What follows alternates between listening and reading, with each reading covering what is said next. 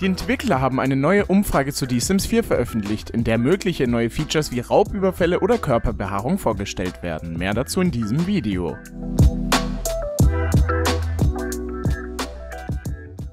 Direkt am Anfang geht es um mögliche Features, die es theoretisch in The Sims 4 geben könnte. Hier stehen unter anderem Ideen wie Einkaufszentren, Cheerleading, Wachstumsschmerzen, Raubüberfälle, Liebe und Romantik, Highschools, Bands oder neue Gastronomieoptionen zur Auswahl.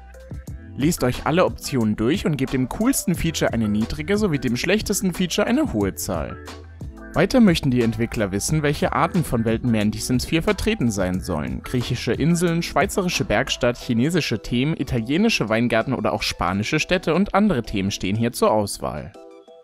Auf der nächsten Seite geht es dann um weitere Features, die mit den Sims und ihrer Persönlichkeit zusammenhängen.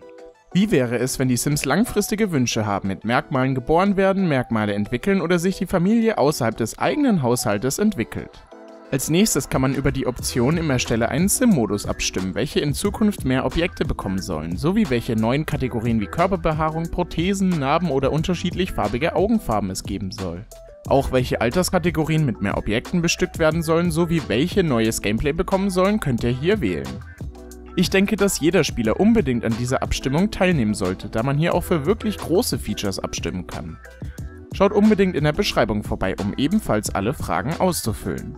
Welches Feature aus dieser Umfrage klingt für euch am spannendsten? Schreibt mir das doch gerne in die Kommentare. Also dann, bis zum nächsten Video.